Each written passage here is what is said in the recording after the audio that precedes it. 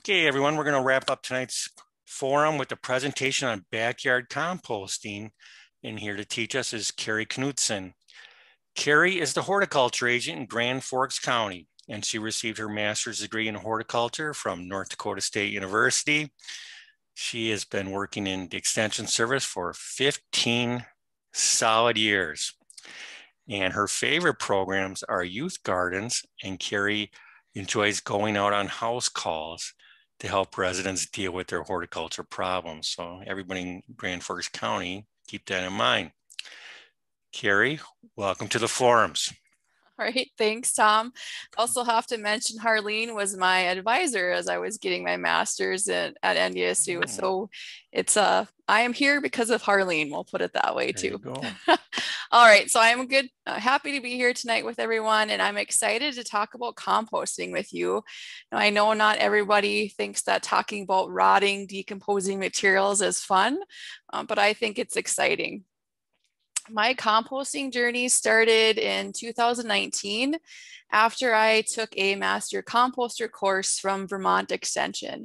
And I really wanted, what I wanted to get out of that course was I was intimidated by composting. I thought it was this huge um, scientific thing and it was too much time and too much thought, and I really didn't want to do it.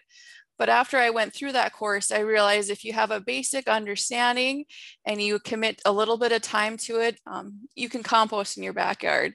So that's my goal tonight is to share some knowledge and tips with you so you can start on your composting journey.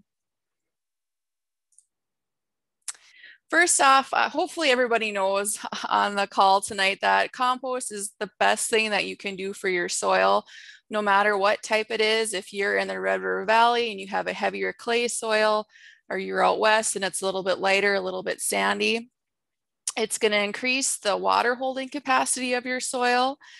It's going to increase the amount of nutrients that it can your soil can hold and compost will also add nutrients to your soil and it's going to increase drainage in your soil. Uh, those organic compounds and compost are going to work with your soil and they're going to form aggregates in the soil and pore spaces and allow water to drain through the soil as well. So composting ingredients can be broken down into two basic types. I'm sure hopefully you've heard of them before. Browns, which are carbon rich, are greens, which are nitrogen rich. Browns basically are anything that's dried um, or hardish. So dried leaves, uh, nuts and eggshells are considered browns. Dry flowers, newspaper, um, cardboard, shredded paper, your dry grass clippings that have not been treated with herbicide or you've waited at least uh, six weeks before you're putting that into your compost pile. Uh, straw, you can use sawdust as well, although in smaller quantities. Typical greens are fruit and vegetable scraps, coffee or tea. A lot of times even the filters or the tea bags are degradable themselves. Fresh grass trimmings and animal manure. While you can compost almost anything that was once living, there are things that you want to avoid, especially in a backyard compost pile. Um, the items on these lists can be composted and usually are in commercial settings, uh, but that's where the piles are, are monitored and managed uh, fairly, I don't want to say heavily, but well um, to make sure that the temperature stays hot enough and long enough to break down things quickly or kill the disease organisms. So you don't want to put in there um, any disease plants that you have from your yard or garden. You want to make sure you keep out bird and, and pet feces. Uh, toxic plants like uh, poison ivy or, you know, based on Harlene's stock, if you have anything that was treated with a herbicide accidentally or on purpose, keep that out until that um, time has passed. And weeds with seeds. So if you can't kill your your nemesis with a herbicide, don't put it in your compost pile either. Uh, if you have plants that have uh, seed heads on them, uh, you don't want to put them in there because your pile won't get hot enough to kill it typically. And there's nothing worse than um, spreading weed seeds, or if you have quackgrass or Canada thistle, uh, spreading that to a place that doesn't have it already. And you also don't want to include meats, bones, dairies, fats, and oils in your compost pile.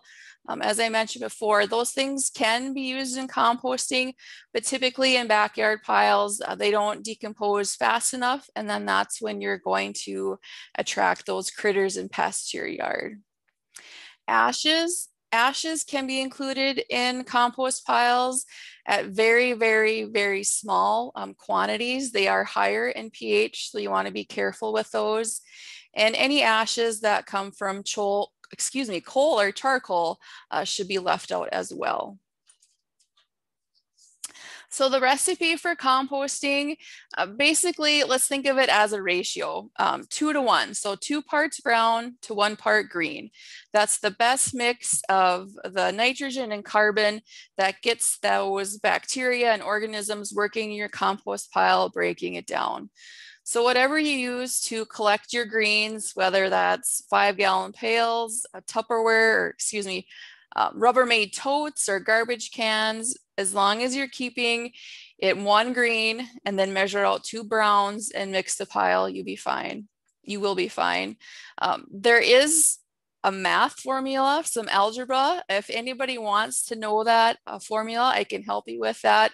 I will share my email and you can just email me and we'll, we'll work through that if you want to get a little bit more exact. Um, in your recipe for your pile, but compost is pretty forgiving and we'll talk about that a little bit later. So let's talk about the recipe. How are you actually gonna put your ingredients together? The first thing to remember is particle size. You want to chop your compost ingredients so that they are smaller size, so they have a larger surface area and break down more quickly. If you put a whole apple in your compost pile, it's gonna take a little bit longer to, to break down than if it was cut up. And generally large things like uh, corn cobs or branches should be cut up into about a half inch piece as well. Now aeration and moisture go together. You wanna make sure that your pile is not so compacted that there is not any air movement in the pile. And you can do that by not cutting up all of your uh, hard materials like branches to make sure that there is room for air to move in there, knowing that you'll eventually have to take them out and cut them up and incorporate them into the pile. Now, if you have the right mix, you got air flowing in there, um, moisture, you want it about 40 to 60% moisture. It's said that your compost should feel like a well wrung out sponge. No, I have to be honest, I haven't actually put my hand in my compost pile and tried to wring it out if uh, to see what it feels like. I don't mind working with compost, but don't know if I want to go that far. uh, but you can actually tell if you're working with it. You can tell if it's a little, if it's too wet or if it's too dry. And it's something that you're going to have to monitor depending on weather conditions too. If there's not enough moisture in there, uh, the pile isn't going to break down or the items in the pile are not going to break down. In terms of volume for backyard gardeners, compost piles as small as a cubic yard in size up to um, five cubic yards in size are about manageable for composters or five feet in size. Um, any smaller than that and your compost is not going to break down very efficiently and any bigger than that you might have issues just in a in your backyard with space of, of, moving and being able to, to churn it. So keep the pile between one cubic yard and about, um, so three feet up to about five feet cubed. Temperature is important for a compost pile. You want those organisms in there working and generating heat. Uh, we'll talk about it a little bit later, but you can purchase a compost thermometer and take the temperature of your compost pile daily uh, to make sure that it's it's heating. And if the temperature goes down, that means you need to churn it and start activating the bacteria, getting new um, material to them and new uh, moisture and air to them so they can work the bacteria, microorganisms. Time. Time is a hard thing, especially in our climate when it comes to composting. Um, and we'll talk about that a little bit later too, but you can get fresh compost or get compost made in about six months to a year. Curing is the last stage when it comes to composting, and it's just letting the finished compost just sit for two weeks or a month. Now, finished compost should loosely resem resemble soil. It shouldn't have any identifiable or organic matter in it. If it does, that stuff should be screened out. Um, and it shouldn't have an odor, odor to it. It'll just kind of smell earthy and like soil. So methods for composting, there's two basic methods, hot and fast and cool and slow. And their titles are kind of very descriptive of the different types. And you want to put some thought into which method you want to use, you know, how much time do you want to commit to being out there and working with your compost? And the hot and fast method, it's intensive. The pile is built all at once.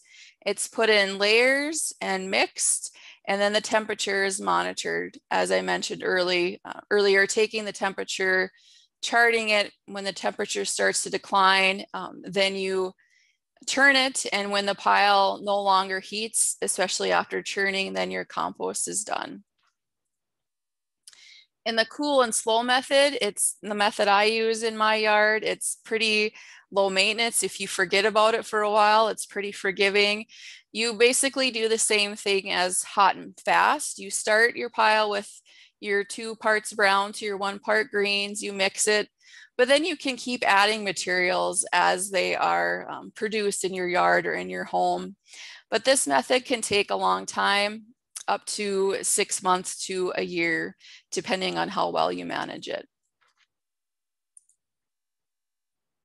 In terms of composting systems, so how you want to want to set up your composting piles, there's a few things to consider. You know, the amount of material that you're going to compost. Uh, do you can you use bins, which is the most common system, or do you have a large garden that you're going to need to use piles and windrows? And then how much time do you want to commit to your, your composting as well? For compost bins, um, pretty much anything goes as you can use wire, uh, chicken wire, wire fencing, as long as it has small enough uh, spacing between the wire that your materials aren't going to fall out. You can also use wooden supports um, around the wire cage to help keep the compost in. You can use wood as we see here um, with the pallets. There are plastic and metal type composters um, on the market. You can use recycled garbage bins as long as you drill holes in them to make sure that there's airflow. Uh, I've seen pictures of gardeners using just straw bales. Uh, that's what they had around to make their bins, or you can use concrete blocks or patio pavers, whatever you have left over a lot of times composters will have a multiple bin system and this enables them to have different if they're doing the hot method they can have different stages of compost going on or if it's the cool and slow method you maybe have one area to collect your browns the middle one is where you're actually actively composting and then uh, the third bin is maybe for that curing stage of that finished compost and as I mentioned earlier, if you have a lot of material to compost, it does not have to be kept in a neat bin. As long as you got the space, um, composting in piles and windrows works. Um, just need to have the equipment to get the piles churned. Some other methods for composting that don't require bins or windrows. Um, if you have the space in your garden, pit composting works essentially you're just digging a hole in a garden area that you don't have any plants or not going to plan on growing things uh, over the season and you layer your materials in there. Uh, put your greens from your kitchen scraps in there layer some browns on top and put soil on top and keep going until you fill up your hole. And then next year um, use it as a walkway or put plants over the top of it and then find another space in your garden too. So you can kind of do it as a three row method alternating uh, over three years what you put where. But in my garden um, anywhere i have an open space i dig a hole and i put compost in and uh, go from there. So you don't have to be as exact as that earlier, I think there was some questions um, with Harlene about um, starting new garden spaces. You can actually use composting to increase your garden area, whether it's for vegetables or perennials. And what is done is that in that method, if you're starting over turf, um, you would scalp the soil. You would put down a layer of newspaper or cardboard, and then you would layer your browns and greens on top uh, till it's about 18 inches high and just leave it alone. So this would be cold composting. It does require some planning in advance. Like if you know this spring or this fall or this summer, if you want to have a new garden space next year, you would make sure you have plenty of time to put that down um, and just let it break down. And then next year you can plant into it or work it into the soil. So where should you put your composting system? There seems to be a lot of, I don't know what I call it, stigma or compost gets a bad rap that it smells and you're going to attract pests. But if you do it correctly, you should not have either of those problems. So locating it really depends on what structures you have in your yard. You want to keep your bins or windrows at least two to three feet away from existing structures you want it to be in an area that's um, level and dry. You don't want it to be in a low spot in your yard where water is going to collect. You can put in our environment, um, it's recommended to put it in part sun, part shade. So it doesn't get so hot during the summer days and it gets some sunlight during the winter. You can put uh, your bins on bare soil is probably the best, but you can put them on concrete just with the understanding that eventually um, long-term composting will more than likely break down the concrete. And like I mentioned earlier, you can uh, use any type of material. This gentleman here has a really nice composting system with some lattice work in it. That's probably prettier to look like look at. Um, if you need to look at your compost pile in your yard, if you can't put it somewhere um, out of sight or the wire bins work too if it's somewhere not as noticeable. What kind of tools do you need for composting? Well, I think, you know, most gardeners have the tools they need already for composting in their yard, uh, with the exception of maybe a bin setup. So you will need things for chopping and shredding, whether that's a pruners or a, a big loppers, um, if you have a lot of leaves or branches that needed to be shredded, you might think about investing in a mulcher. Um, I use an ice pick. Uh, I didn't get a lot of work this winter, but I did use it in my compost pile to chop up things. You'll also need tools uh, for mixing and churning. Uh, usually shovels are not going to work as well. A spade or a tile shovel might work to help churn, but I think a potato fork works the best um, for churning and it also serves, you know, multiple purposes too.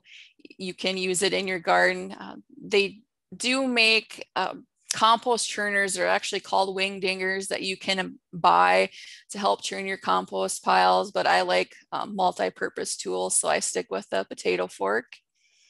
Water, uh, you need to have a water source for your compost pile. You do need to add water, so a, a watering can or a garden hose if it's a larger pile.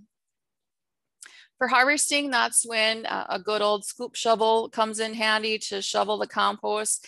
And then you're gonna need to, to screen it out because uh, they're will always be some materials that aren't going to break down as fast as others and you can screen them out and then put them back into uh, another compost pile that you already have going. Some common issues with composting. Um, I have the dog's nose up here because use your nose as you're working with your compost. If you can smell something like ammonia or rancid butter or vinegar, that means there's issues with your pile and you need to take some time uh, churning it, um, adding maybe browns if things are too wet to help soak up the moisture, or um, maybe some bulking agents too, as I mentioned earlier, some sticks or bigger items to increase airflow. If your compost isn't heating, usually that means it's too dry. So add some vegetable scraps because they are really high in water content or add some water to your compost pile. If you have non-decomposed layer, layers, that goes back to um, probably not having enough air movement in your compost pile. So churning it will help. If you have non-decomposed items, that goes back to the size of the item. If it's branches or larger chunks, um, surprisingly, eggshells need to be broken down to, I mean, you would think that they're so delicate they break. Um, I learned this lesson the hard way all winter by just throwing eggshells into my compost pile and then finding out they, they look exactly like they did the day I put them in there. So breaking up even eggshells um, will help your compost decompose faster if you have insect pests, you know, um, millipedes, pill bugs, um, different things like that are good for a decomposting pile or for a compost pile. But if you have lots of flying insects, that might mean um, you have too many greens in there, your pile's too wet, you need to add some browns. Or if you're adding kitchen scraps, you need to make sure that you're capping the pile, putting a good layer of browns over those greens so those flying insects can't get to them. And rodents, uh, you sh really shouldn't have a problem with rodents as long as you're keeping away from those meats, uh, dairies, and oil products in your compost pile. Um, but if you do feel like you're having an issue with four-legged creatures, you can always put some chicken wire around your bin um, to keep it to keep out those pests. And I think we're just about out of time. I had a couple minutes. I want to talk about winter composting this is uh, for me one of the most valuable things i learned during my uh, master composter course is we can take advantage of our cold temperatures in north dakota we can store our vet fruit and vegetable scraps over winter you just need to collect brown leaves in the fall have a um, I use trash bins with holes drilled in the sides sides I layer leaves, dump in my brown or my, excuse me, my greens as they uh, are produced in the kitchen, put a layer of browns on them, um, keep going over winter. And then when the temperature starts uh, warming up outside, I either compost directly in my bins or I might dump them out in a, a wire uh, bin system so they can compost over the summer. All right, that's all I have. I got questions, hopefully. Yes, we do, Carrie. Here we go. When you say the magic recipe is two parts brown and one part green, is that by volume or by weight? Volume. So it's it's a five. You put a five gallon pail in there. You well, I can see why you would think weight too, because your wet greens are going to be, or your vegetable scraps are going to be a little bit harder. I would start by just by volume. And as you work with your pile, um, you're you will see that you're going to need to add browns, especially with vegetable scraps because they produce so much moisture moisture as they decompose. Okay, how about what do you do if your compost pile is too dry? Can you add more greens or should you just give it water? You can do both. You can add more greens if you have those readily available or just add water. And you don't want to add too much. Remember, you don't want a, a sopping wet pile. Think of it as a, a dry, a wrung out sponge. So you can do both. Can we compost colored newsprint? That one, I that's a good question. And I don't know that I have an answer off. I think you can do newspaper because that is soy. A lot of the inks are soy based, but I'm not sure on colored paper. I was just going to look here and see if I can find the answer. Um, and of course I can't. You know, I think this is an issue many, many years ago that they were uh, toxic chemicals in the color newsprint, but now now it's all soy based, so mm-hmm. I don't think you really have to worry about it. No, I don't know that I'd use like colored paper left over from arts and crafts. I would recycle that, but I don't know that I would put that in my compost pile. How about uh, do you have to worry about methane or carbon dioxide emissions with that pit style of composting? I never have I have yet to have issues with that in my in my garden. So I haven't noticed any any weird smells. I think um, the soil, the organisms in the soil do a good job breaking it down efficiently and it's not it's not like a landfill where it's captured and there isn't things there to um, decay the material. You do have to watch out for if you have dogs in your yard and you use pit composting, um, they will love to dig in those areas. Okay. How about what do you think about those plastic tumbler composters? You know, those barrel composters that you turn, are they quicker? To me, that's a slow uh, type of composting. If you're going to add material uh, continuously to it. If you fill it and let it go and you are able to turn it that way, in theory, they should be a little bit faster because it's easier for you to churn and there might be more airflow in it. But it all comes up to how you manage it too. Do you use the same recipe with those tumbler systems? Yep, two to one. It's just the basic um, composting recipe. Do you know, do you have a general idea about how often do you need to turn a pile? maybe hot or cold methods? Uh, hot methods, it really depends on the temperature. So it could be um, every couple days or once a week. Uh, for cold composting, at least once a week. Uh, you can do less. Sometimes I forget to turn it, turn it more one week than the other week. It, it's pretty forgiving. You mentioned temperature. Is there like a target temperature that you want to reach? a good range of temperature for composting is 105 to 150. Okay. And how about can you use citrus rinds in the compost? Sure, might even smell good for a while. how do you you mentioned curing compost? How do you cure it? It's you know, are there are any bread makers out there where you just leave the dough alone and you let it rise? You don't do anything with it. That's mm-hmm. kind of what curing is. You just let it set.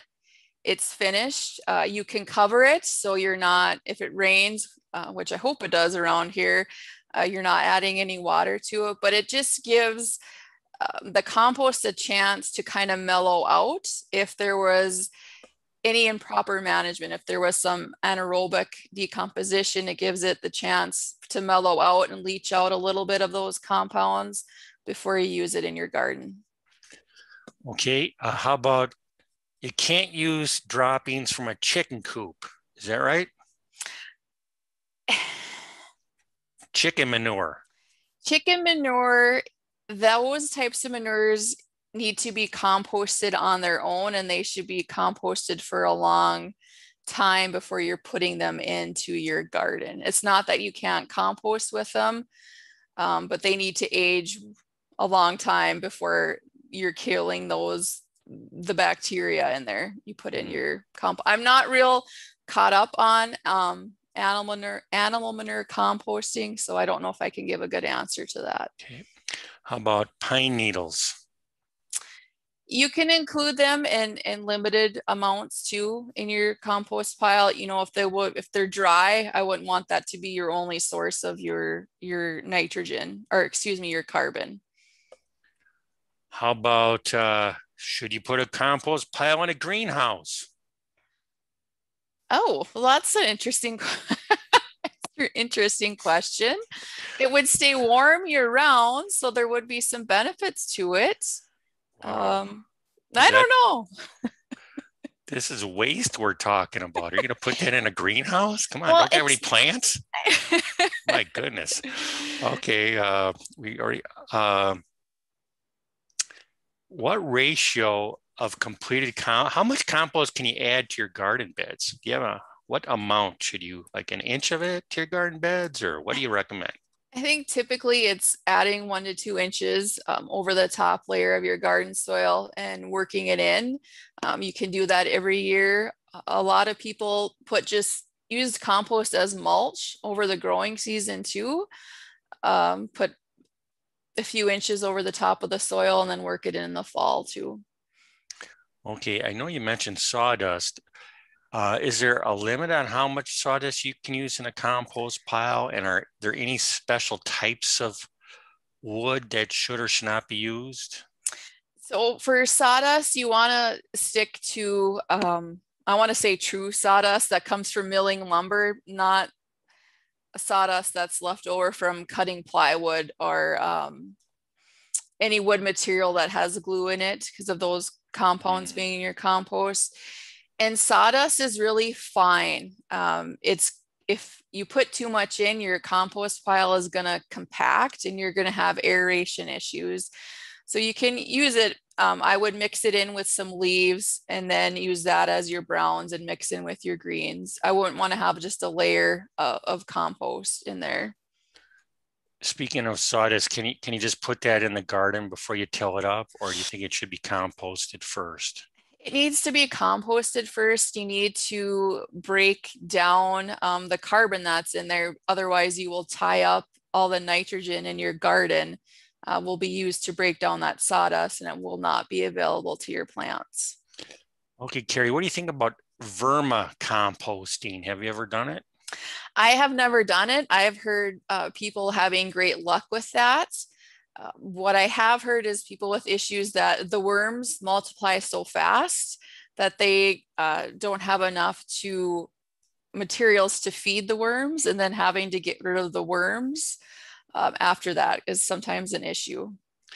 How about um, so is worm composting better than just standard composting or doesn't really make a difference? Or? You know, I don't know that I can answer that, but to me, as long as you're composting, it it's good. Not let putting it in the landfill. Should should you put worms in your compost pile? Nope. Don't do not, that. Not outside. Nope. And uh you know what this this person we had a question for Jan about this composting, but I thought you're the one who should answer it it's uh, a person. They have a garden tower that calls for reg- wigglers for composting. Have you ever heard of that?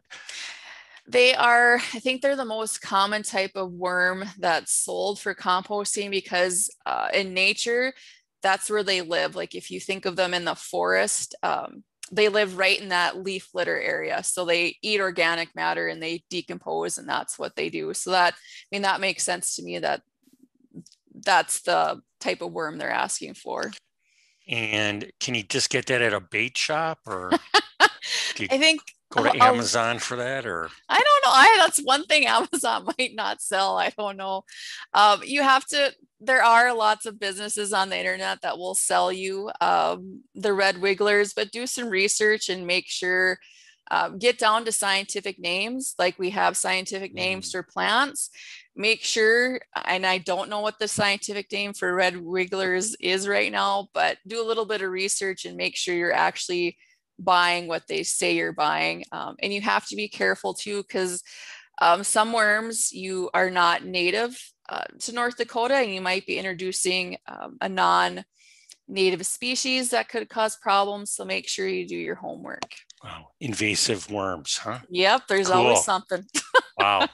How about we got a gardener who's very lazy and she refuses to turn her compost pile. Will it ever be composted naturally? I would liken that to sheet composting. So if you the best thing to do is collect your ingredients and then layer them and then leave it alone and eventually it will break down but you want to make sure that you have that two to one in there. Otherwise it's not, not going to have the right amount of nutrients for those bacteria and microorganisms to work on the pile. Now you mentioned about ash. You can use a little bit of ash from burning twigs. Um, how much can you use? That is really hard um, to find an answer. It's it's a little. Um, I think the recommendation, if you have a lot of ashes, uh, people always want to put them in gardens or in their lawns. And it's like a five gallon pail for a thousand square feet is the recommendation. So uh, for ashes in a compost pile, um, definitely not the main ingredient in your pile, maybe just to help give it a little bit of um, air movement or pore space in there. And you said ash can make your soil, can make it more alkaline or it raises the pH, I should say. I think it can because um, wood ashes have a generally higher pH. Um, now, I don't know if anybody has read about biochar, uses biochar. That's made a little bit differently. And there's a lot of research into using biochar and in, in compost. But for um, us here, at least on the Red River Valley side of North Dakota with our high pH soils, you don't want to keep adding high pH ingredients um, to the soil you have. Right. How about where can someone take a master composter class, Carrie? I look for Vermont Extension. Uh, I think. What about Grand Forks? I know I'm not a master composter yet, even oh, though I took on. the class. Um, but if you have questions, I'd be more uh, than happy to visit with you about them. Like like I said, I'm still on my journey. Um, I learn something different every day. I was just out churning my pile, uh, and I had a corner that smelled like ammonia, and I thought I'm not doing a good enough job um, getting air movement in there. So it's a journey well, you're well along the journey. You know, you don't have to be like the Dalai Lama. You know, you can just Correct. be like a very far along master master composter. Just like, a researcher. Yep, figuring okay. it out. uh, how about can a person put dried leaves directly into the garden in the fall, or will that use up? Will they take up too much carbon to break it down without composting first? Should you put dried leaves in the garden in the fall?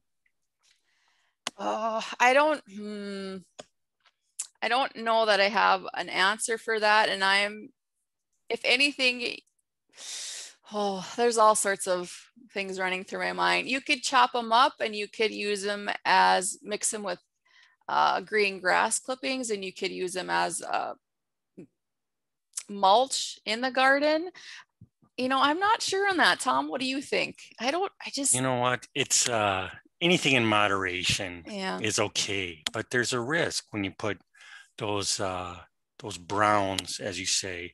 Mm-hmm. Um, you know, I think one of the biggest risks is people who put too much on. Then the garden is very slow to warm up in the springtime. Very mm-hmm. slow. It can delay for weeks, and uh, it's too yeah. much organic matter. I just think just that I just a, a little bit, an inch maybe, but mm-hmm. and then work it in if you want to. But collect them in garbage bags to use over the summer if you need browns. Yeah. Um, okay, this person has a huge compost pile, and they have someone come in with a skid steer in spring and then in fall to turn it. Is that okay? Twice a year you're probably not going to get compost very fast. and if that's that's what you can do, I mean that's fine. Um, yeah. It, it's it's all the amount of time and effort you want to put into it. If you don't want compost immediately, it's kind of cold composting. So. And just a couple more to go here. How about uh, the, a little about that elevated tumbler compost? You know, people keep talking about that on the barrel bins, like and you see those ads now. It's like, oh, you can have compost in three weeks, that kind of thing. Are they any good or is it just a scam? I, I think it all goes down to what you put in the bin. If you uh, measure out your browns and greens, get them in there, and then churn the use it to churn, I think it's a good method. If if it works for you, um, try it. I don't I mean, there's some days that I wish I had one because I think it would be easier to churn. Um, I don't think mm. there's, I don't think it's a scam. I think it's a good system, but you have to start with the right recipe and the right ingredients and monitor it to get it to work. So we've got a master gardener who says she's su- surprised because how come you can't use bird manure? I think that comes down to the bacteria. Um, in in backyards, you can't oftentimes backyard gardeners are not going to get your pile hot enough and for long enough to kill that bacteria. And we don't want you spreading that in your garden and then eating a green bean and getting sick. Yeah. Okay, that sounds good. Carrie, I want to thank you. You've inspired a lot of people into having compost piles. You made it sound so easy. and uh, thank you. And also, I want to say thank you to everybody out there.